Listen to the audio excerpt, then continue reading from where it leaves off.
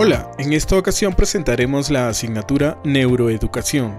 Esta es una asignatura que pertenece al área de especialidad, es de naturaleza teórico-práctica, tiene como propósito desarrollar en el estudiante la capacidad de identificar programas de intervención, prevención y promoción en función a la necesidad de la unidad de análisis.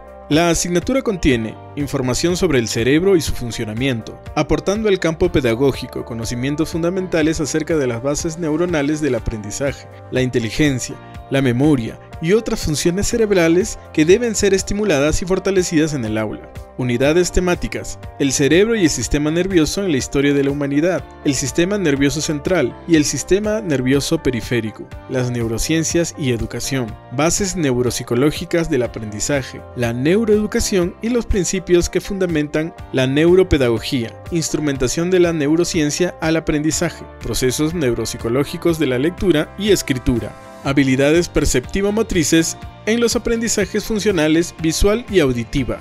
Al finalizar la asignatura, el estudiante será capaz de identificar áreas del sistema nervioso que deben de ser estimuladas y fortalecidas en el aula con una actitud de respeto. Te damos la bienvenida a esta asignatura, esperamos colmar tus expectativas y ten por seguro que te ayudaremos a resolver tus dudas e inquietudes. Una vez más, bienvenidos.